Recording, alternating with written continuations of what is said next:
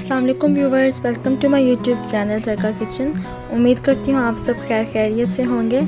आज मैं आपके लिए बहुत ही मज़े की रेसिपी लेकर आई हूँ। आज हम, आज नए अंदाज से चिकन कढ़ाई बनाएँगे, जो इंशाल्लाह आपको बहुत ज़्यादा पसंद आएगी और ये बहुत डिफरेंट वे में बनेगी और आप इसको बहुत ज़्यादा पसंद करेंगे। चलें अब इसको बनाना स्टार्ट करते हैं। जी तो सबसे पहले हमने कढ़ाई लिया उसमें हम एक के जी चिकन ऐड कर देंगे। मैंने इसमें कोई ऑयल वगैरह नहीं ऐड किया, सिर्फ़ ओनली वन के जी चिकन ऐड किया है। इसको अब अच्छी तरह मिक्स कर लेंगे। अब हम इसमें चार से पाँच बारीक कटे हुए प्याज इसमें ऐड कर देंगे। आपने इसमें ज़्यादा प्याज ऐड करने हैं ताकि हमारी ग्रेवी ज़्यादा बन सके। टू टेबल स्पून हम इसमें अदरक लहसुन का पेस्ट ऐड कर देंगे। एक दालचीनी का टुकड़ा, हाफ़ बादियान का फूल, तीन अदद लौंग और दो बड़ी इलायची भी इसमें हम ऐड कर देंगे और इसको अच्छी तरह मिक्स कर लेंगे। ये गोश्त में डालना बहुत ज़रूरी है, इसकी स्मेल दूर करने के लिए और इसका कच्चापन दूर करने के लिए। तो अब हम इसको मिक्स करेंगे। अब हम इसमें वन टीस्पून नमक का ऐड करेंगे। हाफ़ टी स्पून हम इसमें लाल मिर्च का पाउडर ऐड करेंगे। इसको अच्छी तरह मिक्स करेंगे। आधा कप अब हम इसमें पानी ऐड कर देंगे और इसको अब हम मिक्स कर लेंगे। मिक्स करने के बाद हम इसमें चार से पाँच कटे हुए टमाटर ऐड करेंगे। टमाटर आपने कोशिश करनी कि आप चार से पाँच ही ऐड करें क्योंकि इससे ग्रेवी बहुत अच्छी बनेगी और क्रीमी बनेगी। हमारा ज़्यादा ज़ोर ग्रेवी पे होना चाहिए। और फिर इसमें दो से तीन अदद कटी हुई सब्ज़ मिर्च या जितनी आपको पसंद हो आप उसके मुताबिक ऐड कर लें। और इसको अच्छी तरह अब हम मिक्स कर लेंगे।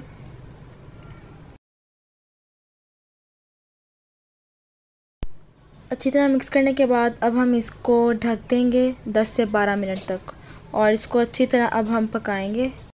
जी तो 10 से 12 मिनट हो चुके हैं और आप देख सकते हैं कितनी मज़े की लग रही है। ये टमाटर ने भी अपना पानी छोड़ दिया है। हमने इसमें कोई कुकिंग ऑयल नहीं ऐड किया। या मसालों का और टमाटर और प्याज का अपना पानी है जो इन्होंने छोड़ा है।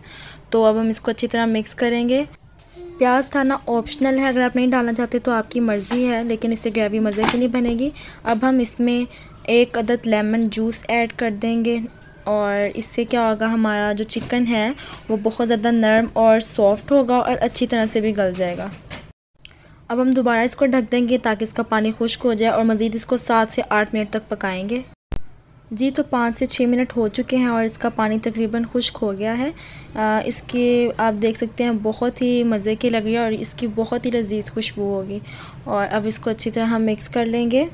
और अब हम इसमें आधा आधा कप कुकिंग ऑयल का ऐड कर देंगे। याद रखिए आपने तब कुकिंग ऑयल ऐड करना है जब इसका पानी बिल्कुल खुश्क हो जाए वरना इसका क्रीमी टेक्सचर आपको नहीं मिलेगा और रेस्टोरेंट स्टाइल में ये नहीं बनेगी। अब हम इसको अच्छी तरह से मिक्स कर लेंगे। अब हम इसमें डालेंगे हाफ़ टी स्पून काली मिर्च का पाउडर हाफ़ टी स्पून सूखा धनिया पाउडर और हाफ़ टी स्पून हम इसमें साबुत ज़ीरा ऐड कर देंगे और इन सब इंग्रेडिएंट्स को अच्छी तरह से मिक्स कर लेंगे। अब हम इन मसालों को अच्छी तरह भूनेंगे ताकि वो इसमें रच बस जाएँ और आपने इसका फ्लेम हाई रखना है ताकि जो इसका पानी इसमें मौजूद है वो मज़ीद खुश्क हो जाए। अब हम इसमें एक प्याली दही के ऐड कर देंगे। पहले मैंने इसको अच्छी तरह से फेंट लिया है और अब हम इसमें ऐड कर देंगे। जब आप कोई भी वाइट चीज़ हंडिया में शामिल करें तो आपने इसका हमेशा लो फ्लेम करना है। तो मैंने इस वक्त में आके फ्लेम लो कर लिया और उसको अच्छी तरह से मिक्स कर लेंगे। आपने इसको लो फ्लेम पर ही पकाना है ताकि दही फटे ना और इससे इसका बहुत थिक ग्रेवी बनेगी और टेक्सचर भी बहुत क्रीमी क्रीमी आएगा। और अब हम इसको मिक्स कर लेंगे और इसको पाँच मिनट तक हम इसमें भूनेंगे। जी तो तकरीबन पाँच मिनट हो चुके हैं। आप देख सकते हैं इसका टेक्सचर कितना थिक और क्रीमी बना है। और अब हम इसमें तकरीबन मैंने थ्री टेबल स्पून क्रीम लिया, वो हम इसमें ऐड कर देंगे। आप कह लें कि इस रेसिपी की जान है। जो आप रेस्टोरेंट में चिकन कढ़ाई वगैरह खाते हैं, उनकी असल जो रेसिपी का राज होता है, वो यही होता है कि वो इसमें क्रीम ऐड कर दे, जिससे वो बहुत मज़े की बनेगी। तो अब मैंने इसमें क्रीम ऐड कर दी है और यकीन करें, इससे इसका फ्लेवर बहुत ही मज़े का लगेगा और बहुत ही आपको बहुत ज़्यादा पसंद आएगा। अब हम इसको स्लोली मिक्स करेंगे। तो हमारी मज़ेदार और रेस्टोरेंट स्टाइल में चिकन कढ़ाई तैयार है। इंशाल्लाह आपको बहुत ज़्यादा पसंद आएगी और और आप इस रेसिपी को ज़रूर ट्राई कीजिएगा कमेंट बॉक्स में बताएगा आपको हमारी आज की रेसिपी कैसी लगी। और चैनल को सब्सक्राइब करना मत भूलिएगा और, और बेल आइकन को ज़रूर प्रेस कीजिएगा ताकि हमारी हर नए आने वाली वीडियो की अपडेट आप तक पहुँचती रहे। तो अब हमारी ये चिकन कढ़ाई मुकम्मल तौर पर तैयार है।